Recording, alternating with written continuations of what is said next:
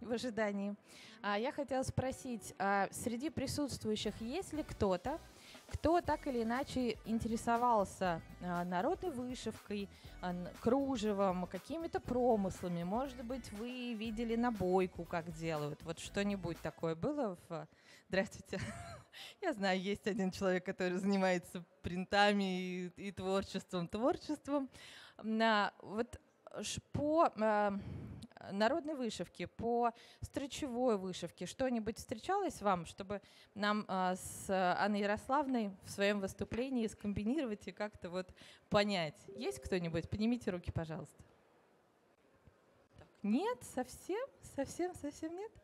А, сегодня мы будем говорить о не только о ценности народных промыслов, а, постараемся рассказать, как их можно интерпретировать, как их можно использовать в нашей работе, в работе декораторов, но и в том числе обратим внимание на какие-то особенности. В принципе, у нас с Анной Ярославной большая задумка, такая очень глобальная, а, при поддержке а, Московской торговой палаты.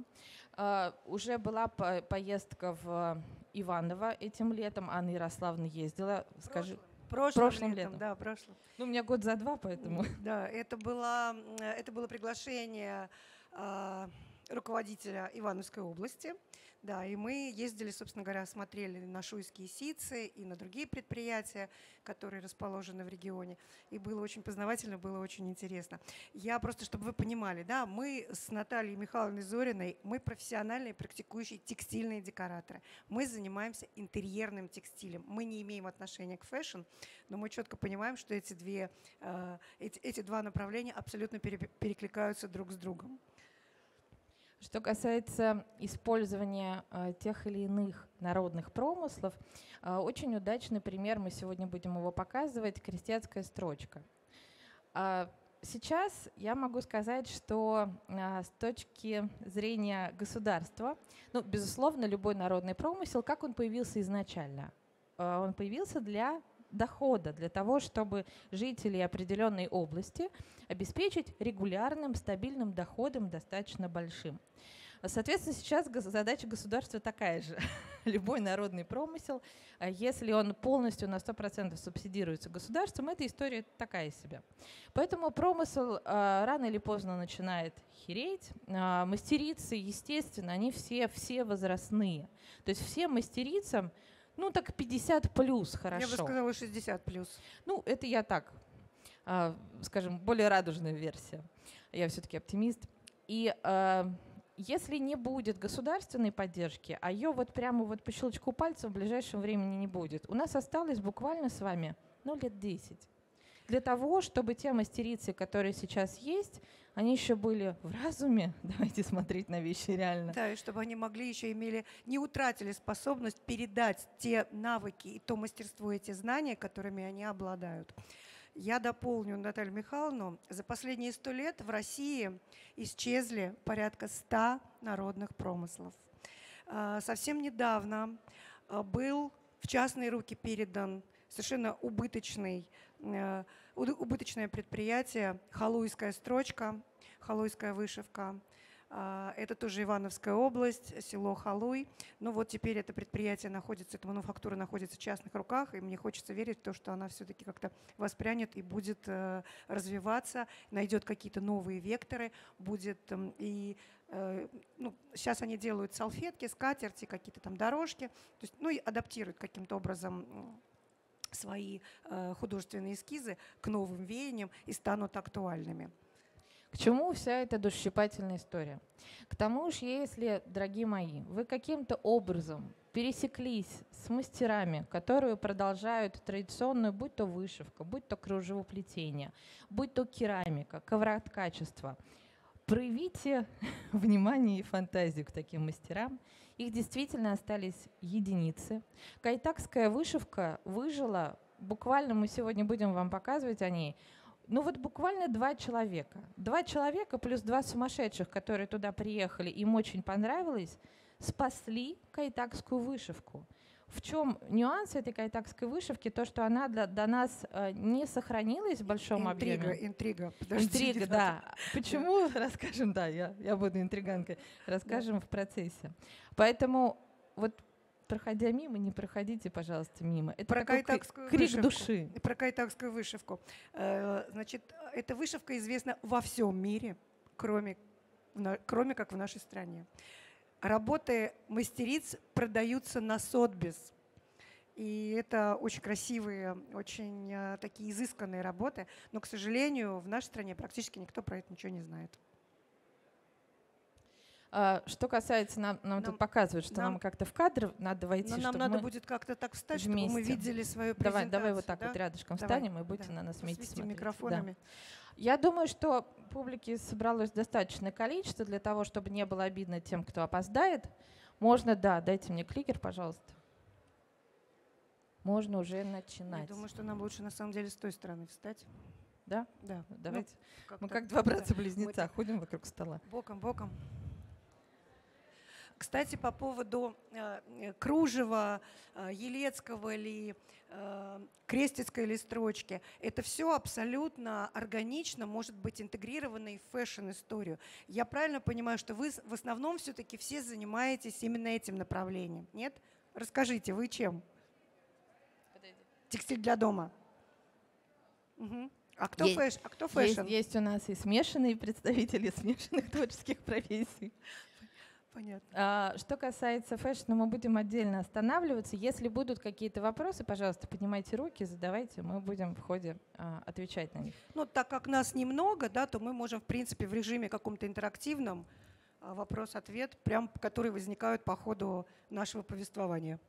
Я хочу вас познакомить с Анной Ярославной, Похлебина Анна, руководитель компании Матильда Project, Матильда Workshop, мастерская Матильды Скамейкиной, практикующий декоратор, член Совета председателей Союза текстильных дизайнеров и декораторов, член экспертного совета премии текстильных декораторов 2023 года. На премии участвовать обязательно всем, ждем вас в этом году, и участник российских и международных выставок.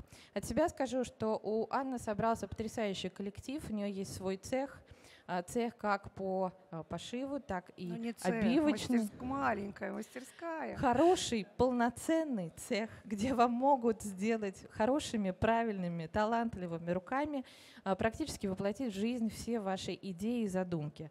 Это будет не быстро, это будет не дешево, все как мы любим. И я хочу сказать, что а, тот подход, который Анна проецирует на своих сотрудников, мне он очень импонирует, и я желаю вам всем иметь такой же дружный коллектив. Наталья Михайловна всегда меня хвалит. Теперь немножко о Наталье Михайловне. Наталья Зорина, декоратор, искусствовед, руководитель текстильной... э, э, а, уже вот так, да? У Натальи Михайловны есть еще своя мастерская, э, бюро Диспрум. Но сейчас Наталья Михайловна еще у нас руководитель текстильного отдела интерьерного текстиля в салоне «Краски», который находится на улице Тимура Фрунзе, член Совета председателей СТДД, член Московского союза дизайнеров, член жюри премии текстильных декораторов 22 и 23 года, а также автор многочисленных обучающих курсов на платформе Виллис. Тоже, если вам будет интересно, хорошая площадка, там много всяких э, обучающих историй, поэтому зайдите, не ленитесь, посмотрите, может быть, кому-то что-то пригодится. Я могу сказать, что мы собрали на, на площадке действительно много интересных историй и про ткани, и про обучение. Но и в принципе всегда вы можете мне написать в один из аккаунтов, задать какой-то вопрос. Я человек такой фанатично любящий ткани, собирающий большую библиотеку по ткани, и обязательно постараюсь вам ответить. Настоящих буйных мало. Да, есть такое. А, собственно, народные промыслы, зачем нам это? О чем мы сегодня будем говорить? А, тот опыт многовековый, накопленный поколениями, а, который в себе собрали народные промыслы, он позволяет нам построить ту самую базу для дальнейшего развития. Развития как промышленности, так и личности человека. И сегодня мы будем говорить в том числе о том, как представлять изделия, основанные на том самом национальном коде, который легко узнаваем. На выставке Хайм Текстиль в 2021 году, это была первая тренд-зона, организованная выставкой, я с коллегами предоставила такую комнату, э, которая называлась «Алхимия».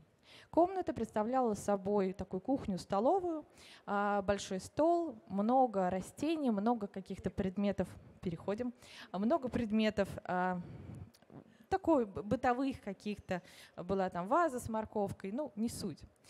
Что важно, что иностранцы эту комнату не поняли, а вот все русские эту комнату поняли и оценили. В комнате было задействовано несколько наших, ну, таких кодов исторических. Ну, кодов это, наверное, громко сказано, привычек. Мы много вопросов решаем на кухне.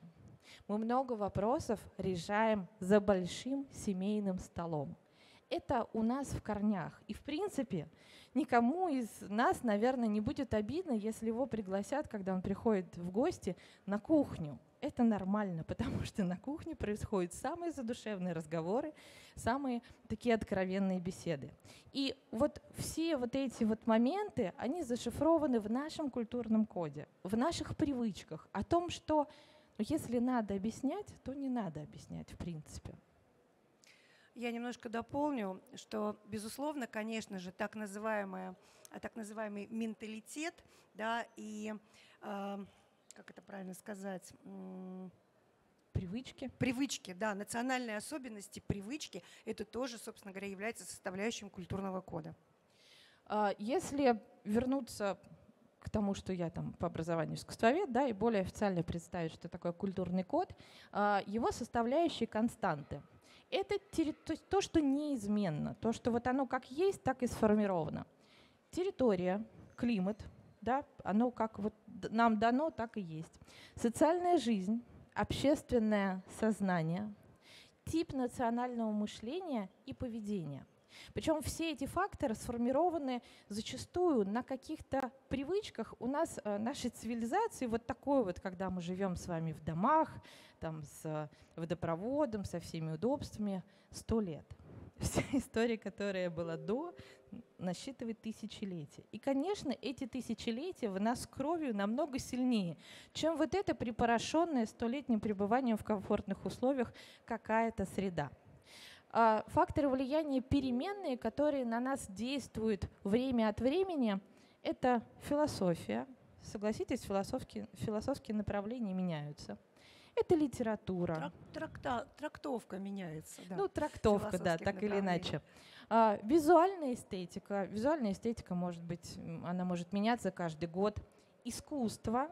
Искусство, основанное на культурных кодах, тем не менее меняется. Посмотрите, как за эти сто лет поменялось искусство. Да? От а, слома классики, работы 20-х, 10-х годов это был совершенно был взрыв, это была революция.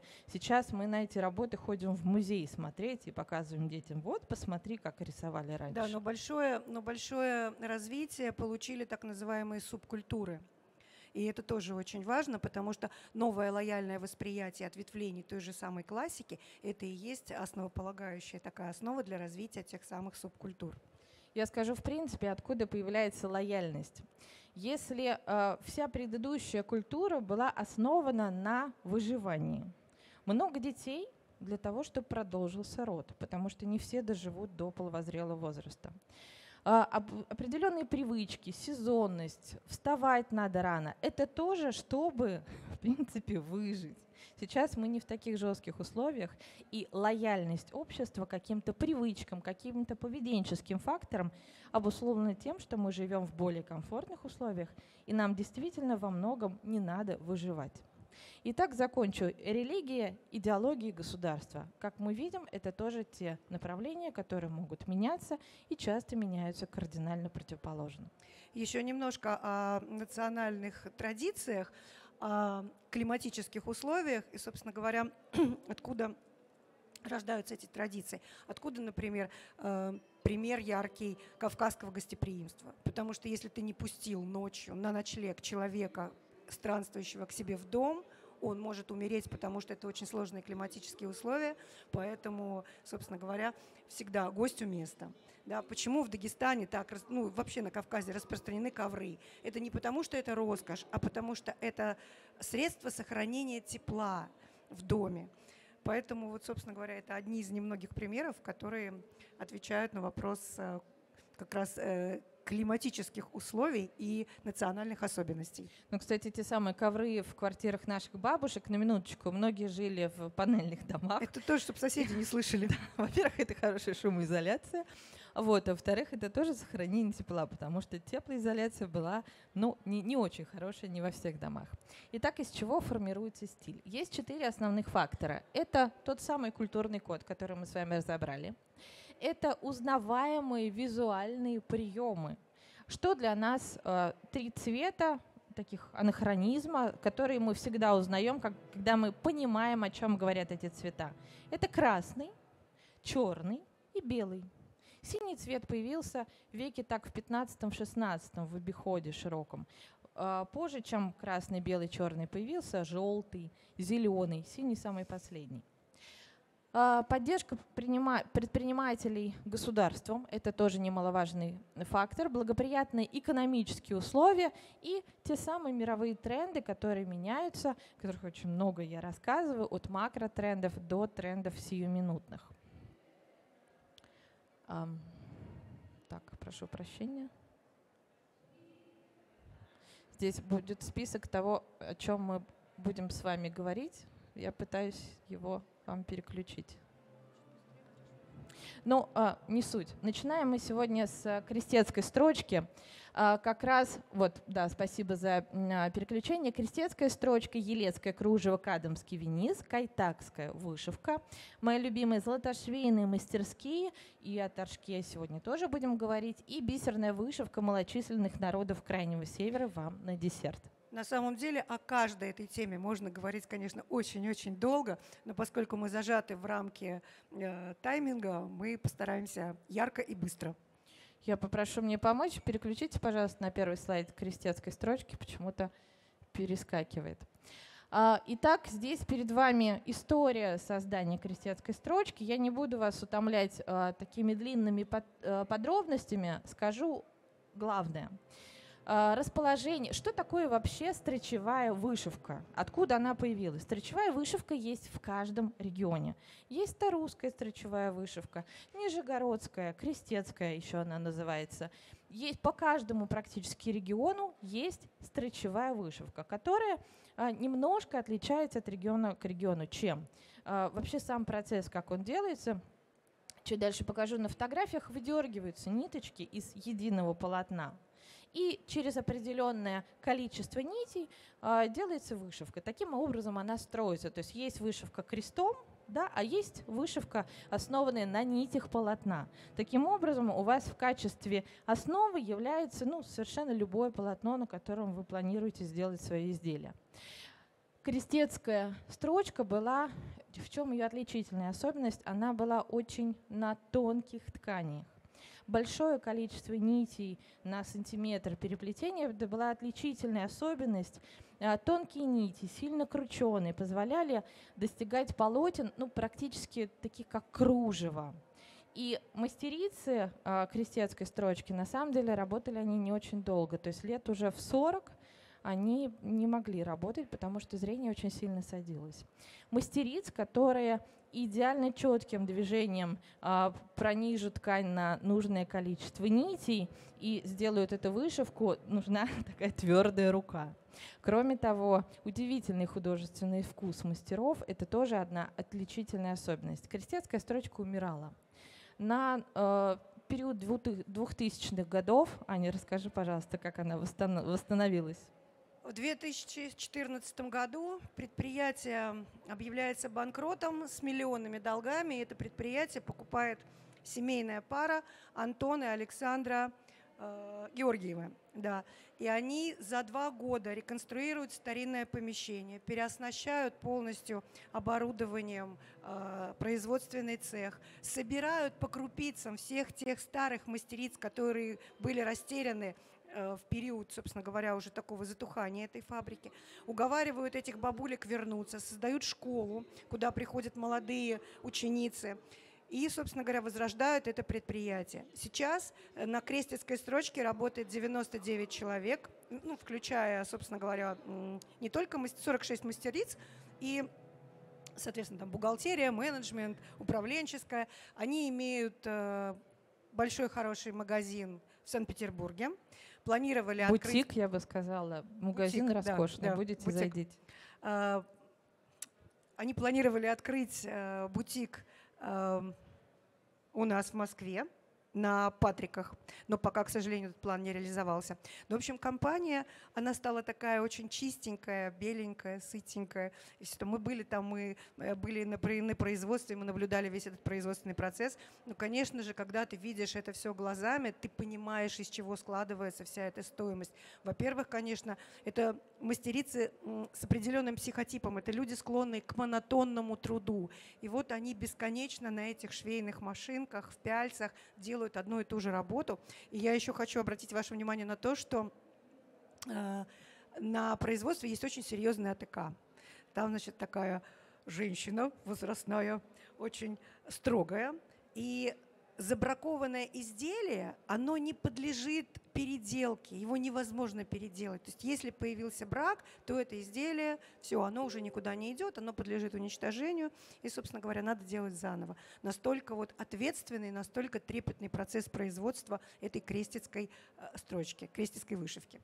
Собственно, здесь на фотографиях показано. Вот, а, смотрите, сама ткань, запяленная в пяльце. Здесь показан ряд машин, которые работают по перфокартам. Это такой вариант универсальный. Дальше я покажу ручную вышивку.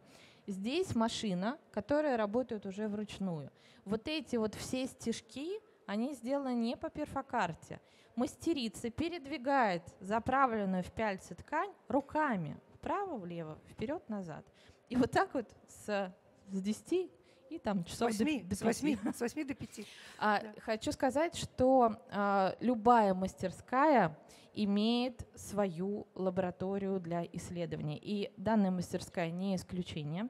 А В Питере, в Питере экспериментальный цех находится, экспериментальная лабора- лаборатория. Собственно говоря, Александра Георгиева на момент приобретения этой фабрики, она уже была дизайнером, и сейчас она является автором всех коллекций, которые выпускает э, Крестецкая строчка. Вот таким образом делается заготовка. То, что я вам говорила про полотно. Вот а, закройщик, человек, который просто на глаз идеально точно кроит изделие, но глаз уже наметан абсолютно ровно. А, остро заточенными ножницами полотно они закупают в Узбек- в Узбекистане, насколько я помню. А, видите, здесь вырезаются такие вот квадратики. Идеально, вот по ниточке. То есть само полотно должно быть ровным. И глазомер, конечно, речится. То есть если она обрезала тут какие-то лишние ниточки, не факт, что пройдет ОТК, не факт, что из такого можно будет вышить. И в дальнейшем вот сидит уже мастер за машинкой, она через эти нити нанизывает уже а, саму вышивку.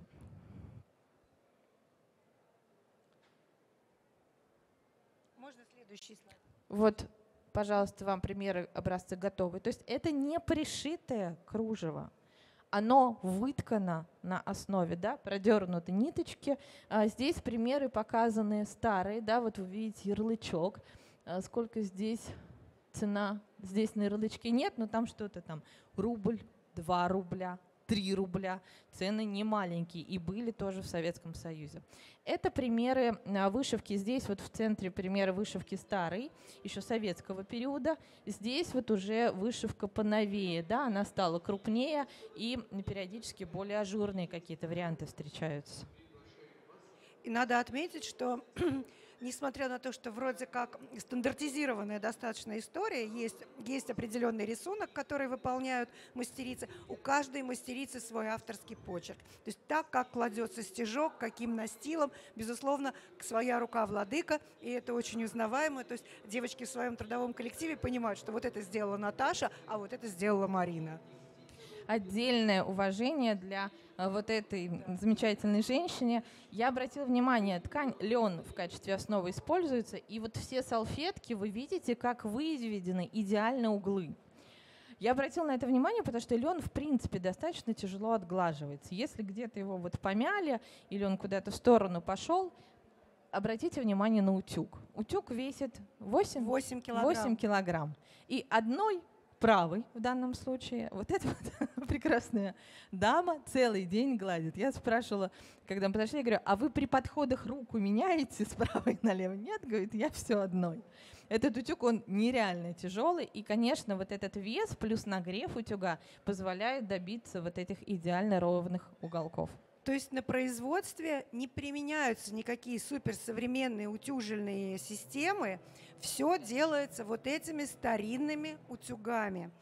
И мы спросили у утюжильщицы, скажите, пожалуйста, а, ну, возможен вообще карьерный рост на вашем производстве? Она сказала, нет, я пришла утюжильщицей, утюжильщицей и умру.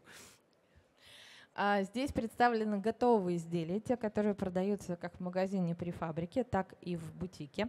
Для того, чтобы вы понимали ценообразование, набор таких салфеток, насколько я помню, 4 салфетки стоили в районе 5000. Вышивка здесь сделана вот такой вот небольшой а, да, какой-то а, элемент плюс мережка по краю, по периметру. Но это очень небольшой объем вышивки. Вот платье, которое висело прости, с вышитой грудкой, две, две такие полосы и небольшая вышивка на воротнике. Это платье стоило 85 тысяч рублей, потому что там работы очень-очень много. Опять же, когда вы видите как это все производится, сколько труда и какого количества людей труда вложено в, в этот продукт, вы понимаете, что это не может стоить дорого. Идея того, что э, все, что сделано руками, это должно быть дешево, нет, это должно быть очень дорого, потому что это неимоверный труд, это высочайшая квалификация, наработанная годами, да, это удивительное мастерство, которое, спасибо большое этим добрым людям, Антону и Александре, которое сохранилось и приумножается в нынешних реалиях. Собственно, как можно использовать крестецкую строчку в своих работах? А, ну, кроме того, что можно приобрести уже готовые комплекты, вы можете разместить свой заказ. Та самая экспериментальная лаборатория, о которой мы говорили, рассмотрит ваш эскиз, сделает ему оценку по количеству часов, которые требуются для изготовления этого объекта, этой работы, и э, даст вам резюме, что ваша работа будет стоить столько-то, сделана будет за такой-то период, что все очень четко, все очень прозрачно, потому что есть нюанс работы с мастерами, когда ты даешь свой эскиз, и ну, месяца через два надо еще пять раз. Если повезет. Да, а что же все-таки с моим эскизом? Здесь а, работа отлажена, и а, я спросила, сколько мастериц работают в а, цехах. А, вот а, непосредственно на территории фабрики работает всего 100 мастеров. Нет, 46? 99 ну, всего, человек всего 100 человек общий состав компании, да. да. И больше они не планируют увеличивать, потому что очень разумный объем продаж соответствует объему мастериц. Вот насколько мы реализуем наше производство, столько мастеров и задействуем. То есть вы должны тоже понимать, что как только такие мануфактуры начинают масштабироваться, Первое, что страдает, это уникальность и качество продукта. Поэтому это не может быть никогда масс-маркетом, это может быть только вот такими уникальными, небольшими, хотя, в общем, 46 мастериц – это большое достаточно производство, да, поэтому, но опять же, да, как бы вот они могут сохраниться таким форматом. Прекрасный раздел про елецкое кружево. На самом деле история елецкого кружева, как видите, началась аж с 1801 года. И, в принципе, история кружевоплетения, если вы начнете а, смотреть какие-то статьи и ресурсы, научные рефераты, то вот 1800-е годы – это такой вот всплеск всплеск интереса. Он, конечно, связан с очень активным проникновением французской культуры в русское общество. Все прекрасные французские кружева, которые привозили модницы, привозили им а, торговые представители, очень хотелось иметь у себя. И резонное а, решение государства об организации собственного производства по тем или иным видам такое вот качество промышленности. И, конечно, знаменитая выставка а, начала века 27 года Париж, 27-5 года парижские выставки. Я хочу сказать, что наши ремесленные мастерские очень часто занимали на них гран-при. Будь то набивные платки, будь то елецкое кружево. И когда, а, будь то парфюмерия, на самом деле, вот буквально вчера я слушала очень интересное интервью по поводу наших парфюмерных фабрик, которые, в, если я не вру, в седьмом или пятом году получили гран парфюмерная российская фабрика Гран-при на выставке в Париже, да, дабы французы не морщили нос.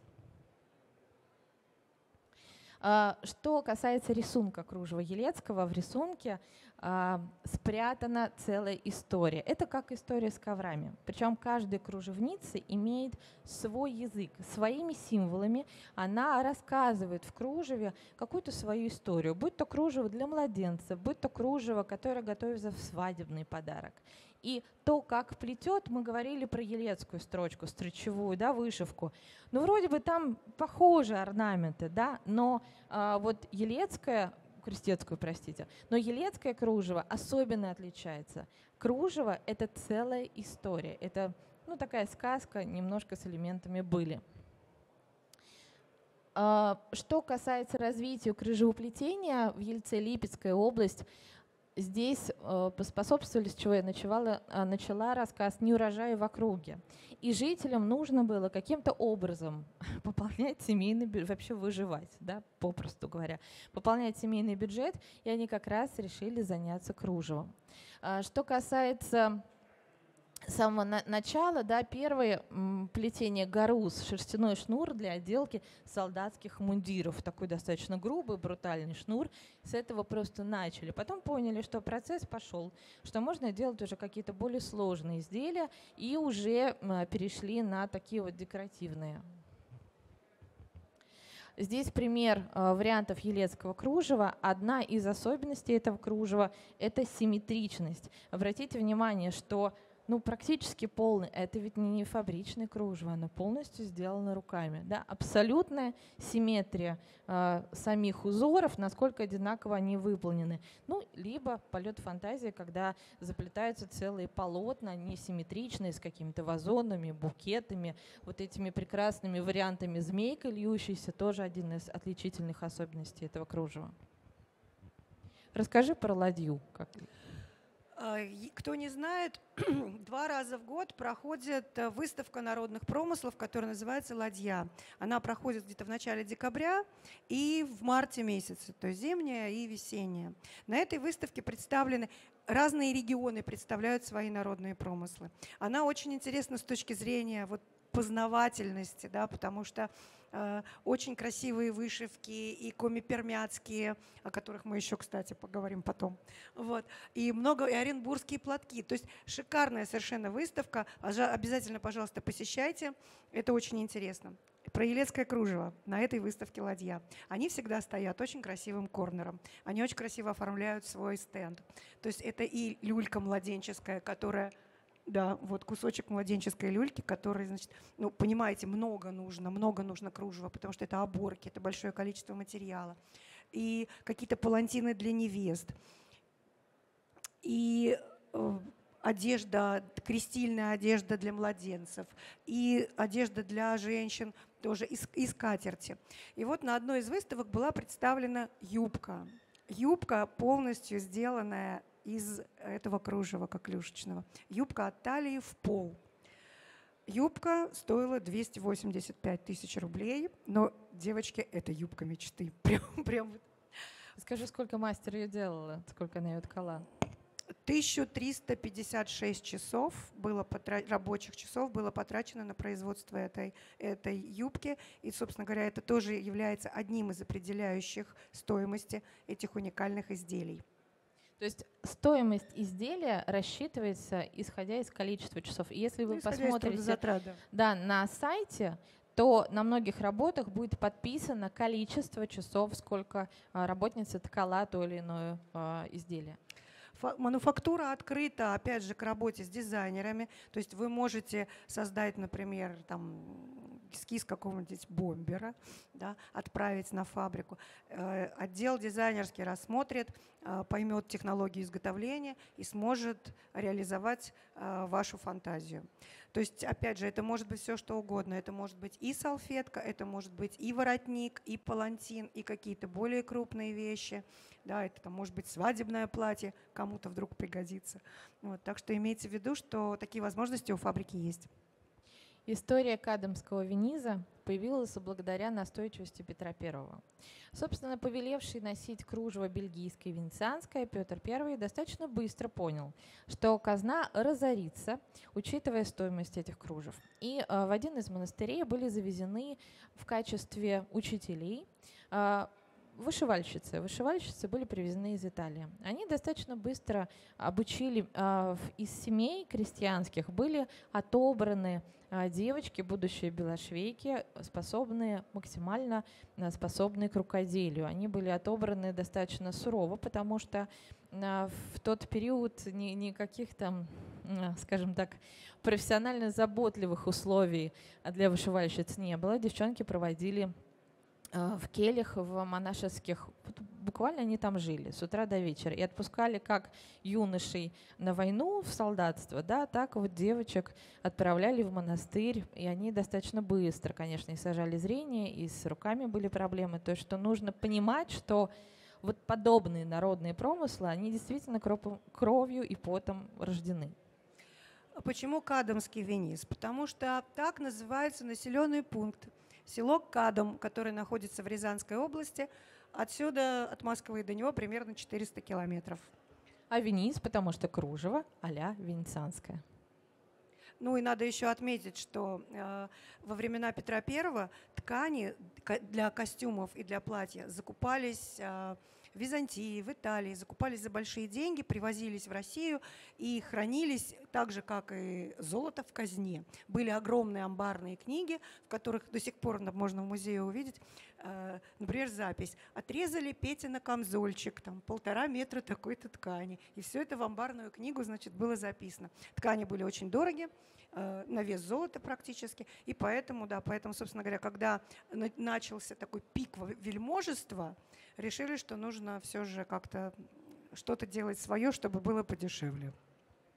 Расцвет э, кружевоплетения можно, э, конечно, здесь отдать должное госпоже Новосильцевой. То, что я сегодня говорила о личном вкладе, вот практически в каждый э, народный промысел, если мы будем рассматривать ее историю, есть личный вклад того или иного человека, который позволил этому промыслу развиться и достичь определенных высот.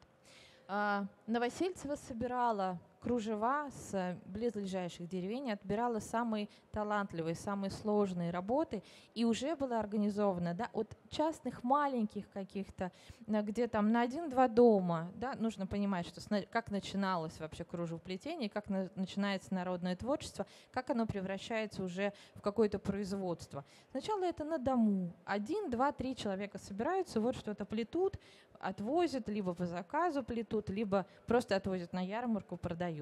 Потом этих мастеров объединяют в небольшие артели, по 3, 4, 5 человек, там 10. И потом уже они а, объединяются в фабрики. Такие фабрики имеют возможность уже участвовать в выставках, получать какие-то государственные гранты, субсидию и заказывать основной вопрос. В любом а, производстве это сырье, заказывать сырье по более выгодным ценам и покупать более тонкие нити и лучшего качества. Сейчас в Кадаме ну, собственно говоря, что не подворье, то мастерская. Да, поэтому как бы каждый, там нет такого глобального предприятия. Есть одна мануфактура э, достаточно, ну, она, нельзя сказать, что она крупная, но в основном там есть еще тоже мелкие мануфактуры, работающие в одной вот этой старинной технике, и все это называется кадамский вениз. Я могу сказать, что история с кадамским винизом, ну, возможно, учитывая сумасшедшую красоту этого кружева. Остаться равнодушным невозможно. Когда вы берете его в руки, это тончайшая, словно паутинка, изделия. И с 92 года фабрика называется ТО «Кадамский винит», ныне кооператив. Эта фабрика продолжает работать и развиваться, также принимает частные заказы. Но поверьте, ассортимент кружева фабричного, что лентами, что в изделиями, он настолько велик. воротниками, да? Что... Ну, там сумасшедший. Ты просто да. приезжаешь и пропадаешь. И желательно деньги оставить на другом счету, потому что можно выйти боссом и ногим. И здесь можно работать с этой фабрикой как с готовыми изделиями. Они стопроцентно адаптированы для нашего сегодняшней, для наших сегодняшней потребностей. Они безумно красивые, будь то рубашка для крещения или какая-нибудь скатерть или одежда. Так и можно, опять же, выполнить свой заказ, но э, ваш заказ будет очень, скажем так, не бюджетом об Но этом не надо нужно этого понимать. бояться, потому что любая уникальность, да, любая кастомизация, конечно, это дорого, но это настолько подчеркнет и вашу индивидуальность, и индивидуальность вашего заказчика, да, и позволит почувствовать ему себе тем самым уникальным, любимым и единственным. Поэтому не надо принимать за своих заказчиков решение, дорого это или дешево, просто попробуйте. как происходит сама работа над кружевом и чем отличие, когда видят кадамский винис, то многие думают, что это как люшечное кружево. Но чем-то это похожая история на строчевую вышивку, когда берется полотно, из него также вынимаются, вырезаются нити, и они прошиваются сверху, но прошиваются не на машинке, не строчкой, да, а прошиваются вот так вот иголочкой вручную. Для основы берется тончайшее полотно батистового типа, и здесь уже счет идет не на нитки, ну потому что это нереально просто ниточки пересчитать, а идет именно расположение, видите, такое более вольное расположение узора. То есть запоминаем отличие. Если крестецкая строчка – это все-таки льняные и хлопчатобумажные ткани, то кадамский винис – это более изысканный, мануфак... более изысканный текстиль, это батисты, это шифоны, это тончайшие ткани. А, из смесового тоже полотна в том числе. А, собственно, да, то, о чем мы говорили, что отличает очень большая трудоемкость, и видите, вот какие полупрозрачные, совершенно нежнейшие кружева, тончайшие, делают на фабрике. И а, вот что касается времен, времени, да, на ручную вышивку одной небольшой салфетки уходит до 600 часов работы. 600 часов работы. Это вот просто вот сидеть и вышивать. Поделите Сколько 600 это? на 8, сколько получится? Сколько дней? Переведем в дни. Иконы до 1000 часов. Вышивка скатертей столешниц сложных панно может занять до 3000 часов. Ну вот год практически. Год вышивала скатерть.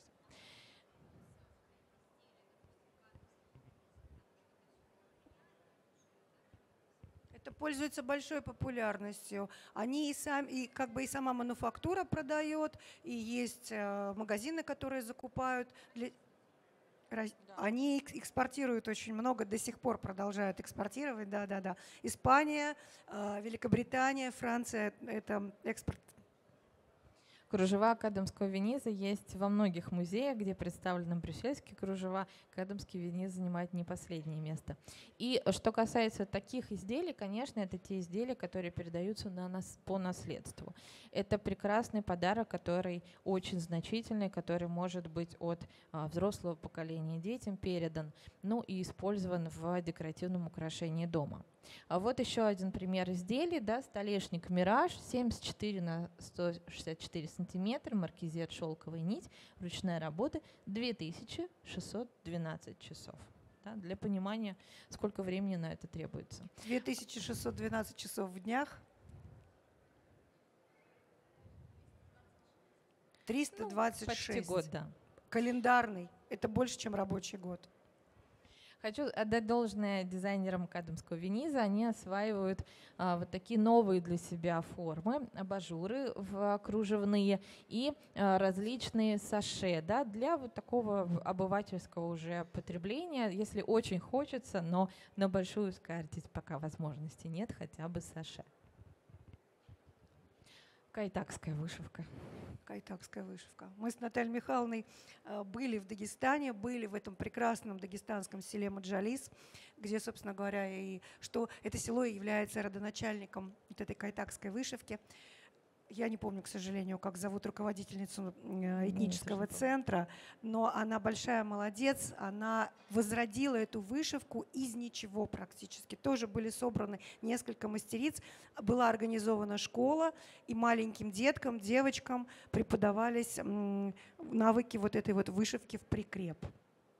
Что касается самой вышивки, я всегда, мне очень интересно символизм вышивки, то есть что заложено, да, как вот в качестве, так и здесь. Нет каких-то э, таких общепринятых узоров и орнаментов. Каждая мастерица в тот узор, который она вышивает, закладывает свой смысл.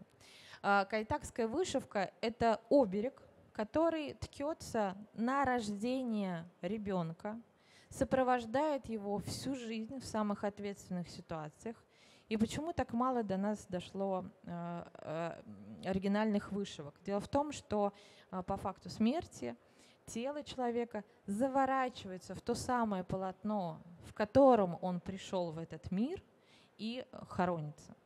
Это та вышивка, которая действительно сопровождает, я рассказываю, у меня мурашки, которая сопровождает человека всю, э, всю его жизнь. Основа гладь в прикреп. Буквально пару слов, чтобы рассказать вам, как это делается. Протягивается вот такая длинная-длинная ниточка.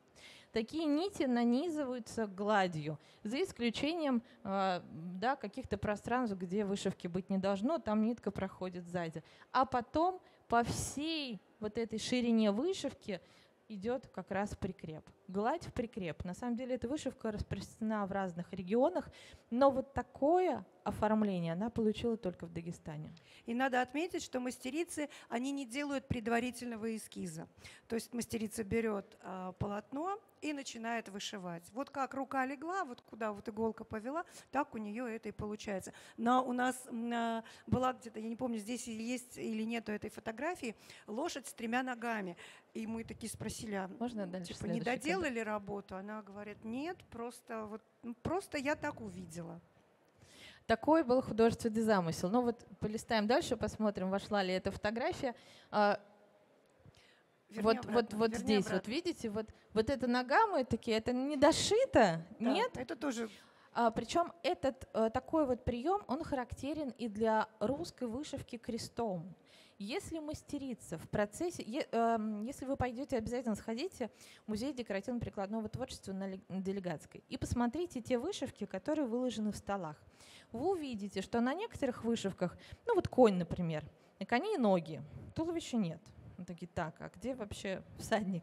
Или наоборот, есть всадник с какой-то странной головой, которая уехала на шею у него в сторону.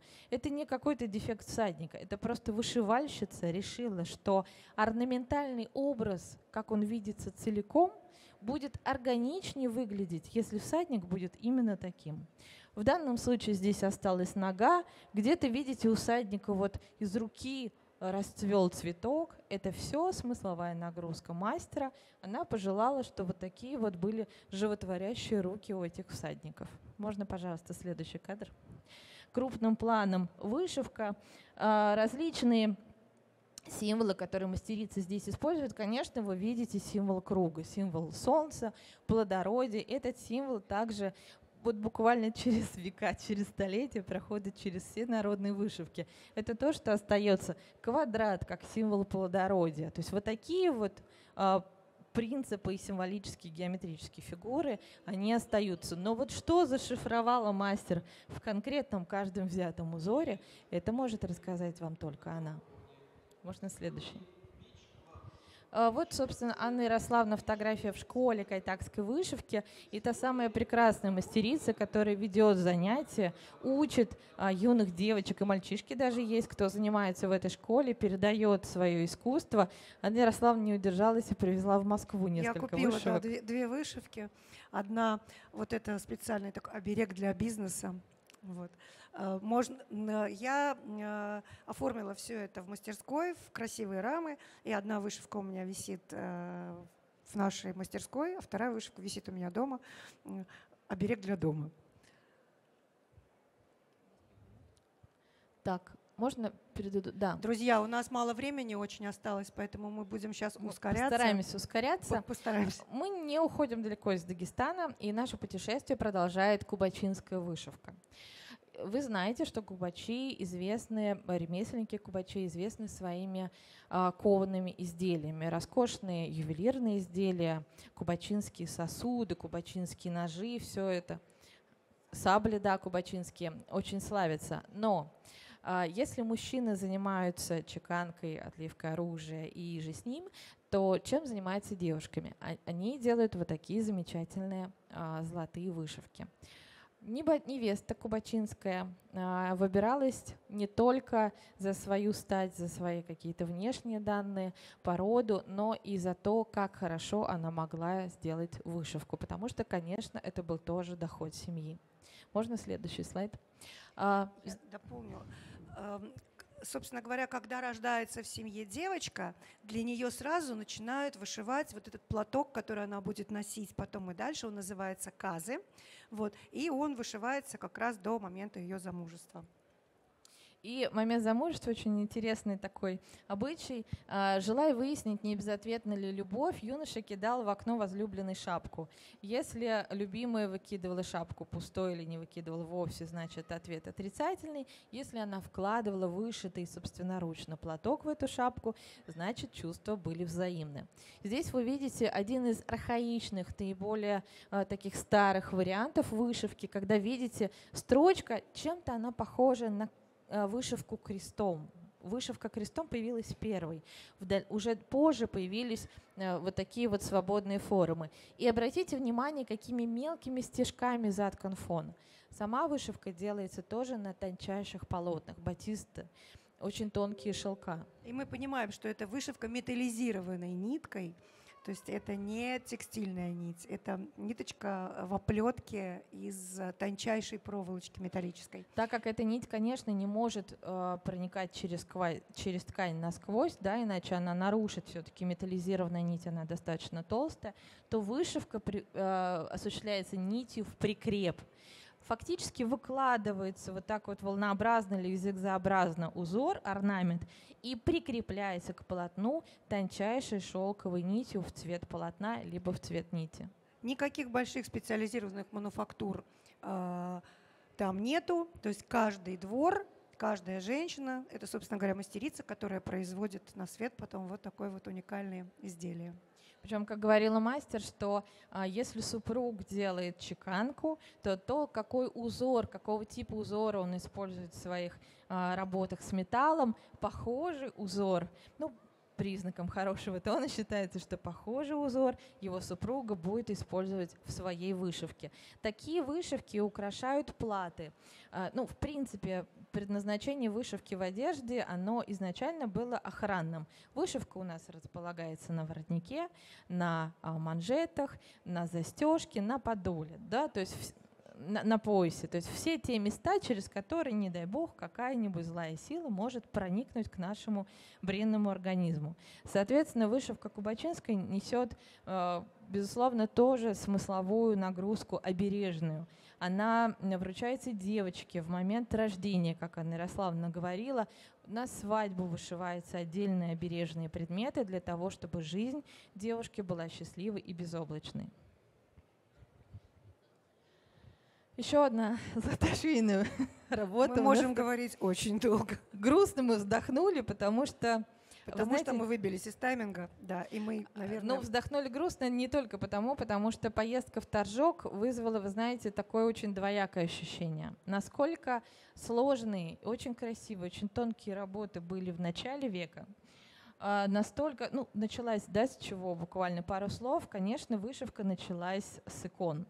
А, византийские иконы, которые к нам приезжали, первые иконы были вышитыми. Это были вышитые платы, это были вышитые наподобие таких ладанок, а, различные аксессуары для священного облачения, обложки для книг. Все это было расшито. И позже появились уже вышитые такие крупные большие иконы. И, собственно, от иконографии получила свое распространение вышивка торжка. Можно следующий слайд?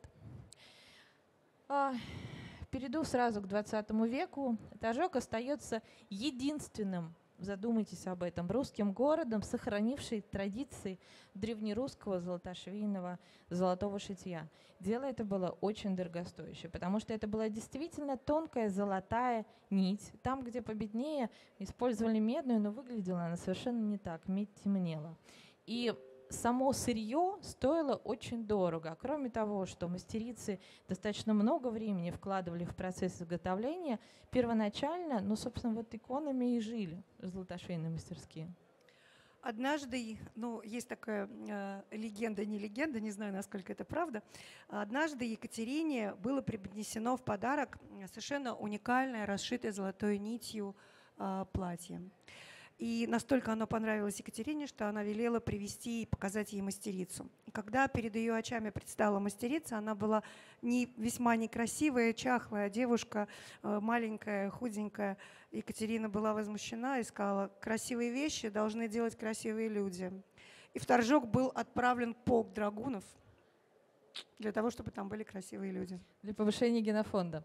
Для улучшения Для генофонда. улучшения генофонда. Собственно, а, Торжок располагается как раз на пути из Питера в Москву. Это большой торговый путь. И достаточно дорогие путешественники, имеющие много средств, ездили по этой дороге.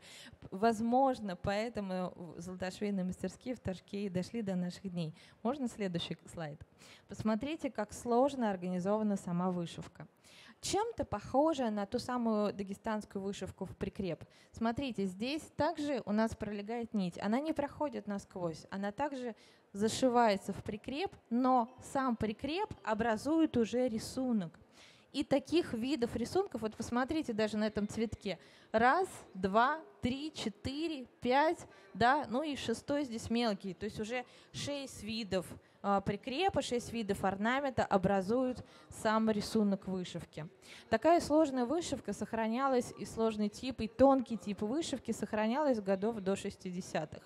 70-х годов происходит, а, можно следующий слайд – вот это еще варианты, видите, вот э, облака как раз на иконе, и направление нити задает направление рисунка, подобно карандашной штриховке. Можно следующий. Вот такое очень сложное дерево. А, насколько я помню, это 1983 год. Это большая работа. картина «Дерево жизни», да, которая висит у них там в музее в э, Торжокском. Музей, который находится при мануфактуре. Э, Два слова еще быстренько скажу. Сейчас мануфактура, в общем, как бы не про дизайн совсем. Да, безусловно, у них есть магазин, в котором продаются вещи, ну, мягко сказать, непотребного вида и качества. Я а часа в... полтора ходила. А ну, вообще, я же должна что-то привезти из. А вообще э, мануфактура Э, собственно говоря, живет на государственных заказах. Они вышивают э, лацканы пиджаков, манжеты, вот погоны, палеты для всевозможных служб, э, в костюмах которых должна присутствовать такая вышивка.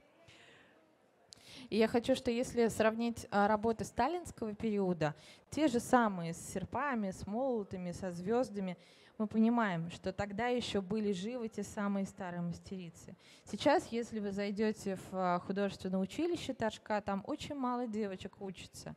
Те работы акварельные, графические, которые выставлены на стендах, ну, перспектива там просто вы, вышла куда-то вот в окно. 15 человек приходят на обучение, дай бог, 9 заканчивают и становятся мастерами. Можно следующее.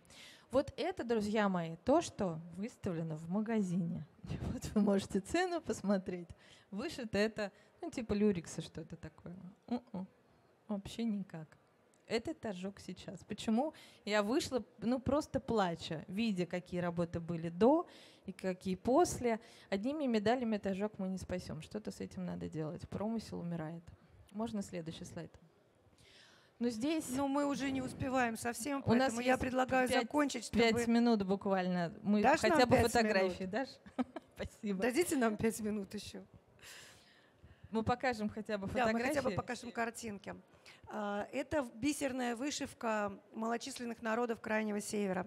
Мне удалось побывать на Камчатке на совершенно уникальном фестивале, на который приезжают люди даже с Командорских островов. Там всего 700 жителей живут. Это очень-очень далеко. И люди привозят, они приезжают нарядные, они привозят какие-то свои работы. И это, это такие же люди, как мы с вами, и это о них используется в быту. То есть раньше исторически так сложилось, что вместо бисер делали из э, рыбьих костей. Сейчас, конечно же, ввиду близости Японии, это японский бисер, калиброванный, очень красивый. Вот. И тем не менее, люди ходят в народной, в национальной одежде. Вот на мужчине так называемая кухлянка.